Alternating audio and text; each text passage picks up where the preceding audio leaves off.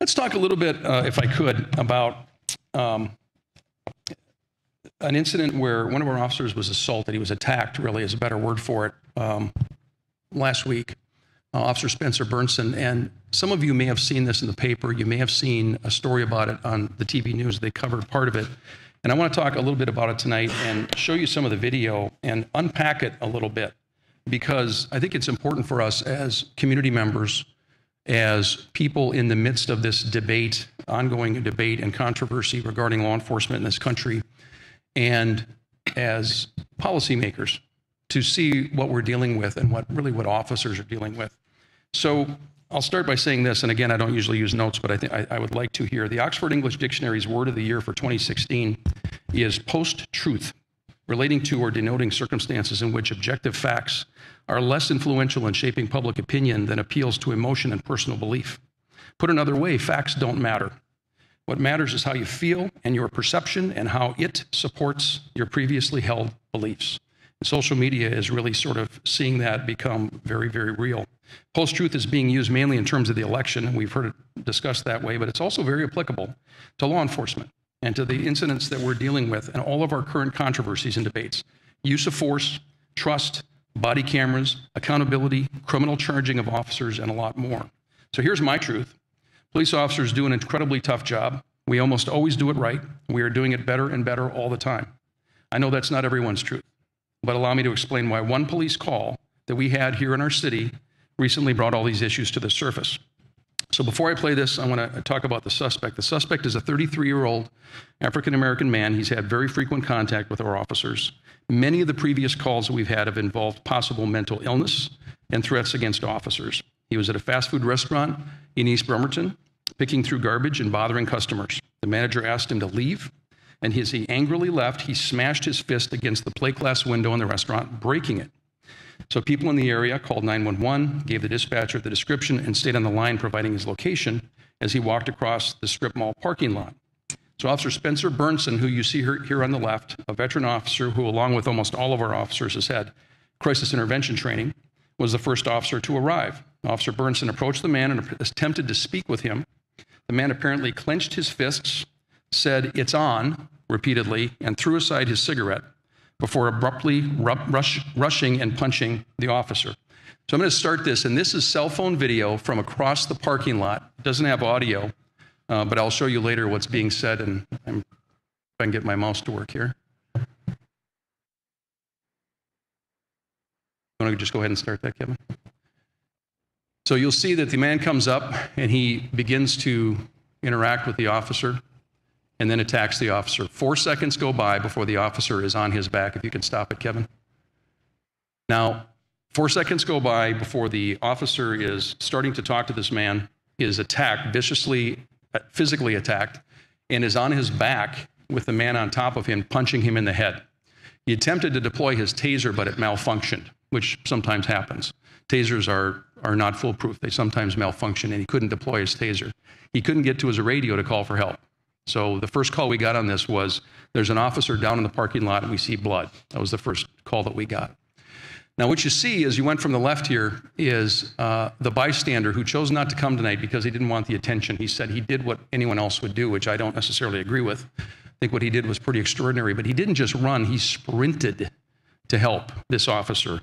And if you want to go ahead and I'll, before I have Kevin let it run again, as soon as he gets there, we're then going to switch to cell phone video from inside. And if you can stop that, Kevin, you can see that the man is on top of Officer Burnson and he is striking him in the head repeatedly. And Officer Burnson, again, the taser has not um, uh, worked. He is trying to get uh, him off of him and he's frankly trying not to be knocked out. So Again, as I said, count the seconds. Exactly four seconds from the initial contact, the officer has been pushed to the ground. The man is repeatedly punching him in the head. Officer Burnson tried to use his taser. It malfunctioned. As the man continued to punch him, the man walking through the parking lot near, nearby immediately ran to the scene, striking the suspect and drawing his attention away from the officer. The bystander struck the suspect until the officer was able to get back on top, maintain control, and uh, the bystander helped by piling on top as well and just sort of sitting on him keeping the suspect from doing further damage. He was eventually handcuffed, jailed for felony assault. So let's start, we can unpack this a little bit. with the suspect himself. He has a violent history and untreated mental health issues.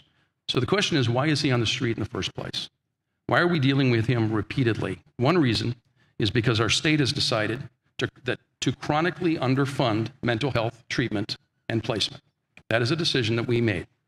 Many people are under the impression that dangerously mentally ill people who cannot care for themselves are somehow sent away to a place where they're treated or kept off the street, but that is simply incorrect. The legal requirements to get anyone placed in mental health treatment involuntarily is extremely high in this state. And even if it weren't, the state has no room to put patients. The result is that these individuals are either in our jails, where they really don't belong, or our police officers are doing the best they can to deal with them repeatedly, day after day, sometimes several times a day with the same person. Our suspect in this case would be one of those persons. If we really want to reduce incidents of uses of force and disturbing viral videos of police shootings, by far, the most effective way to do that would be to have a place to take people with serious, untreated mental illness. So once the subject started to interact with the officer, there are many people who would point out that the officer needed to de escalate the situation. If you see the video, you will note that throwing away a cigarette, announcing it's on, and punching the officer does not lead to a effective de escalation. Also, you'll note from the video that the suspect is not resisting or using violence to get away, but is in fact attacking the officer aggressively. I think it's easy to diminish or underestimate just how dangerous this is. Within four seconds, the officer is fighting to keep the man from rendering him unconscious. Remember that a police officer cannot be knocked out, cannot lose the fight. The result is a firearm being immediately available to the same violent person who just assaulted the officer and who may now use that firearm against the officer in the public. If you watch this video, you may find yourself saying, Well, I would have done this or I would have done that. These decisions are, are all required in tenths of a second which are life and death decisions, literally life and death decisions. They crop up at unexpected times and with no warning. This was a relatively low level call that Officer Bernsen went to. He was fighting for his ongoing consciousness, his gun, and his life four seconds after starting to speak with the suspect. The bystander is seen not just running, but sprinting to aid the officer. He delivers several blows to the suspect, helps hold him down until he's handcuffed. A few more bystanders eventually come forward, lay on top of the man who kept trying to get up and fight. When I called the bystander, by the way, the next day to thank him for his assistance, I identified myself, and he had two questions. The first was to ask how the officer was doing, and then he became a little more animated when he asked the second question, which was, why were all those people standing around with camera phones instead of helping? I don't know the answer to that question, and I think maybe we should all be asking that question. And why is it that in our society that's what people that seems to be people's default uh, default um, uh, act in these kind of incidents. So let's examine the video taken by the customer in the pet store. That's the perspective we see now, who is good enough to provide the cell phone video to us. So if we can go to the next slide, actually, Kevin. Okay, so we're going to start this. Uh, let's go to the third one. I'm sorry. Okay, so now what I've done is I've had um, the folks at BKAT to help me with this to put the audio of what you hear from the people inside the store. So you're not going to hear that, but it's it's almost unintelligible. But but they we we got it out. And go ahead, Kevin, if you want to start it. So this is from inside the store. This is all they see. And what you hear from people inside the store is, you know, they're talking about staying away from the door. No one leaves the store. There's a police beating going on right in front of the store right now. They use the phrase police beating. Are you recording? That's the main um, concern. Are you recording because there's a police beating going on? And as it goes on, they talk about the fact that they're trying to tase a black man. You can go ahead and stop it there, Kevin. If you watch that raw video, it starts right at the point where the bystander is getting to the scene. The audio in the pet store video contains phrases, as I mentioned, from people inside, such as there's a police beating going on in front of the store. There's a black man who is being tased, and it's not okay that three people are trying to get on top of this man. Rather than make negative assumptions about those comments and the people inside the store, let's just acknowledge that they see only a portion of the struggle long after the suspect originally sucker punched the officer. However, we should also acknowledge that people bring preconceived notions and beliefs to anything involving police officers. And again, that has a lot to do with what we're talking about nationally. Both Officer Bernsen and I have had people ask us, well, why didn't the officer shoot that suspect? Using deadly force as a man strikes and punches the officer in the face would generally be considered justified based on the imminent danger to the officer and others. However, Remember that all officers are human beings making the best judgments in the split second when it's required. And we live in the same society everyone else does. Officer Bernsen is very frank when he says the idea of using deadly force against this technically unarmed man, who is yet very dangerous, definitely was a part of his thought process. Chicago police officer was recently badly hurt by an unarmed man um, when the officer definitively explained afterwards that they would not put their family and the department through the scrutiny and protests that would inevitably follow using deadly force.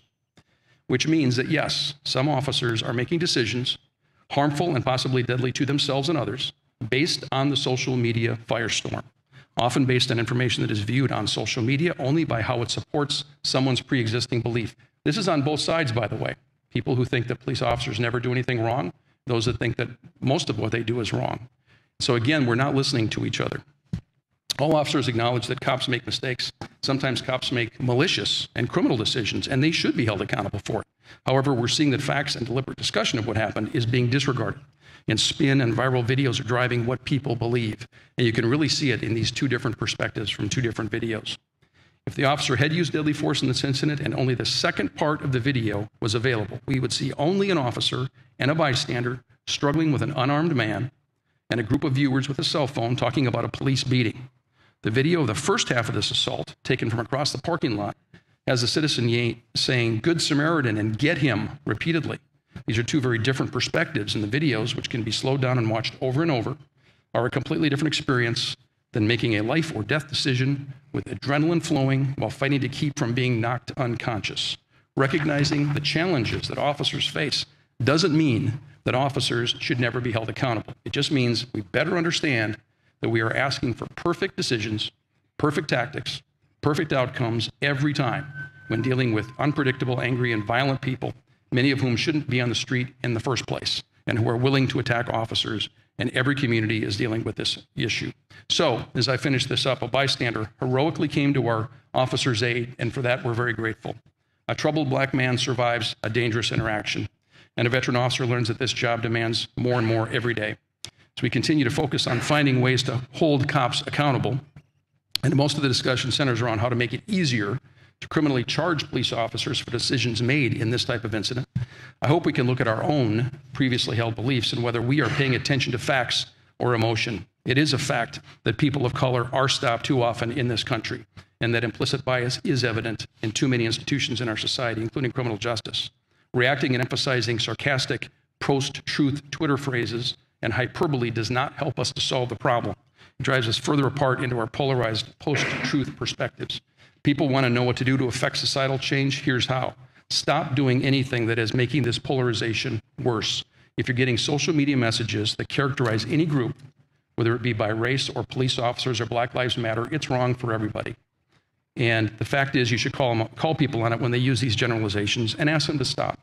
That doesn't mean we have to be politically correct, it just means we have to be civil and respectful and understand the perspectives of others. And so finally, I'll wrap it up by saying I can't offer anything more eloquent than what our bystander said to a reporter when he was asked about why he helped. He said, You know, it was time to step up and be a part of the community and try to change things. And this incident that really was, was focused on the bystander's good work, which I don't disagree with, that was very important. But I think there's so much more to it, and it's really worth looking at it a little bit more deeply as far as what does that mean to us as a community and how do we improve this in the future. Officer uh, is out on medical leave this week. Um, he's got some ongoing issues from this. Um, we hope to have him back in a few weeks, but um, he is well aware of just how close this was. We could have lost an officer, we could have lost a citizen, we could have lost a lot of other things. Um, so these are not conducive to short little stories on the TV news. Uh, these things are complex, and I think it's a challenge for us that we have to look at as we move forward. Go ahead. Um, so, if we want to support law enforcement and social justice, which I think go together, um, you know, we're following and listening to listening uh, other to others who agree with us and reinforce us. We should be listening to all sides. Stop assuming that people who disagree with us are closed-minded and stupid.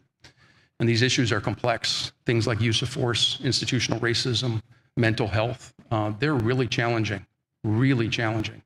And how do we start to attack this? And finally, we owe it to everyone else to really look at everyone's perspective. So um, that's a long presentation, and I appreciate your indulgence. But again, I think it's important for us to talk about it. Last couple things I want to mention before I finish up.